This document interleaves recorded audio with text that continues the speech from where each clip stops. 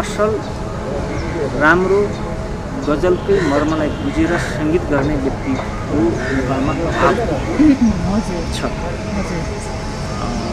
एउटा त गजलको त्यो पोइटिक डेफ्टनेस त्यो बुझ्न सक्ने क्षमता हुनु पऱ्यो सङ्गीतकारमा सामान्य तर सङ्गीतकारहरूले के गरिदिन्छन् भनेदेखि फुल जस्तो जुन जस्तो तिम्रो लाली हो तिम्रो कस्तो बारुले कम्मर त्यस्ता कुराहरूमा जानुहुन्छ। बाहिर बाहिरी आवरणमा जानुहुन्छ। भित्री गहिराइमा चाहिँ बुझ्नै चाहनुहुन्छ। भित्र यस्तो चल्दैन यो फाल्ने हुँदैन। सो मार्केटमा कसरी चल्छ त्यही अनुसार जानु छ भन्नुहुन्छ। अब गजल जस्तो गजल रेकर्ड रहेको अवस्थामा अब गजलकै साधक भएको हिसाबले मैले युट्युबतिर गुगलतिर खोज्दै जाँदाखेरि जसले जसले गाउनुभयो गुरु तिलक बेला हजुर। उहाँको एउटा प्रस्तुति भेटेँ मैले। टु थाउजन्ड ट्वेन्टी वान फेब्रुअरीतिरको ठ्याक्कै गजललाई बुझेर उच्चारणलाई सही ढङ्गले बुझेर उठान र बैठान ठ्याक्क अडिने ठाउँमा हरिएर काफियाको उजार गर गर्ने बेलामा चाहिँ कसरी गर्नुपर्छ त्यो सब बुझेर गर्ने व्यक्ति मैले देखेको थिएँ विभिन्न सङ्गीतकारहरूका जाँदा पटक पटक फेरि गरौँला भनेर फर्काएको अवस्था थियो। ए। कतिपय कहाँ गरेर पनि मैले अहिलेसम्म गरेर मसँग छ मैले ल्याएको छैन बजारमा देखाएको छैन। चित्त नबुझेर। कतिपय सङ्गीतकार अ, हरूबाट एडभान्स दिएको सङ्गीत चित्त बुझे नबुझेपछि पटक पटक दुईचोटि तिनचोटि नभएपछि पैसै माया मारेको पनि अवस्था छ। यसको पनि एक दुई ठाउँ देखाएको तर उहाँहरूले उच्चारण नै जान्दैन सङ्गीत। यो किनभने यो बहरमा लेखिएको छ। मुजारे अख्तर दिक्पाल छन्दको नजिक यसमा चाहिँ उच्चारणको पालना गर्नुपर्छ। यति गति को पालना गर्नुपर्छ? मध्य विश्रामको पालना गर्नुपर्छ। त्यो पालनाहरू अरूले नगरिदिने सङ्गीतहरू त्यतैतिर लाग्दै नलाग्ने साहित्यकार रवि प्राञ्जल उहाँसँग दोस्ती निकै अगाडिदेखि नै थियो।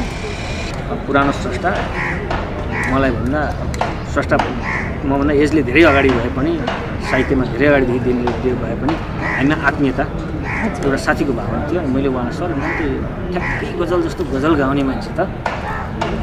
यस्तो तिलक बेला भन्ने मान्छे भेटेछ युट्युबमा। तपाईँले चिन्नुहुन्छ भनेर अनि है त मैले सुन्या सुन्या जस्तो लाग्यो भन्नुभयो के भन्नुभयो अनि ए उहाँ त हो उहाँ त त्रिपन्न चौनै सालमा चाहिँ धेरै चर्चामा आएको मान्छे हो बिचमा कता कता आउनुभयो इन्डियातिर पनि साधना गर्नुभएको हो अनि फर्केर आएर काहीँ सङ्गीत पाठशाला खोले जस्तो लाग्छ अनि गाह्रो छ उहाँलाई पाउनु त। मान्छे त गहिरो साह्रो र एक दुई दिन पछाडि ल मैले भेटेँ उहाँको नम्बर थाहा पाएँ भन्नुभयो अनि दुई तिन महिना पछाडि उहाँलाई भेट्न गएँ। भेट्न गइसकेपछि पटक पटक भेटाइलाई बढायौँ। पटक पटक उहाँलाई गजल सुनायौँ। आत्मीयता बढायौँ होइन? अनि मान्छे त भेटियो अब गर्न कसरी काम गराउने धेरै गाह्रो चुनौती थियो। हामीसँग अब सर एउटा कार्यक्रम गर्नु पऱ्यो यस्तो त होइन म कार्यक्रम सार्यक्रम केही गर्दिनँ म सिकाउने हो म यहीँ बस्छु म बाहिर कहीँ जान्न। चेलाहरूले गर्छन्। भन्नुहुन्थ्यो। आत्मीयता धेरै भएपछि उहाँले हार्न सक्नु एउटा कार्यक्रम गऱ्यौँ हामीले। आठजना गजलकारहरूको गजलहरू चाहिँ विशिष्ट लेभलका व्यक्तिहरूलाई सङ्गीतकारहरूलाई गीतकारहरूलाई प्राध्यापक समालोचकहरूलाई मात्रै बोलाएर हामीले बन्द सूचीमा राख्यौँ बोलाउने मान्छेहरू पनि उहाँहरूलाई बोलाएर प्रज्ञा प्रतिष्ठानमा उहाँकै सङ्गीत निर्देशनमा गजलहरू प्रस्तुति भए धेरैले त्यो प्रस्तुति देखेर धेरै व्यक्तिहरूले चाहिँ राम्रो फिडब्याक दिनुभयो उहाँले अब मेरो अन्तिम अनुरोध यो छ मेरो जिन्दगी म बाँचे जस्तो हुनको लागि तपाईँले गरिदिनुपर्छ जस्तो गजलले मलाई जुन तपाईँको भाषाले जुन मसँग जुन तरङ्ग आएको थियो तपाईँले पनि गर्नुपर्छ सरकारबाट एउटा गर्नुपर्छ चाहिँ यसो कहिले काहीँ भनेर भन्थेँ होइन सर गर्दिनँ भनिरहनु भएको थियो। त्यो भइसकेपछि चाहिँ सङ्गीत त उहाँले मोती जयन्तीलाई सङ्गीत गर्ने भने चाहिँ हाम्रो त त्यो छ महिना अगाडिदेखि तयारी भएको हो। यसको सङ्गीत त उहाँले एक वर्षै अगाडिदेखि गरिरहनु भएको सङ्गीत गर्नु भएको। त्यसको ट्युन निकाल्नु तर रेकर्डिङको लागि चाहिँ मोती जयन्ती पछाडि हुन्छ सर म विचार गरौँला भनेर गर्नुभएको अनि दसैँ तिहारमा त गाउँ जानु थियो फर्केर आएर गर्नु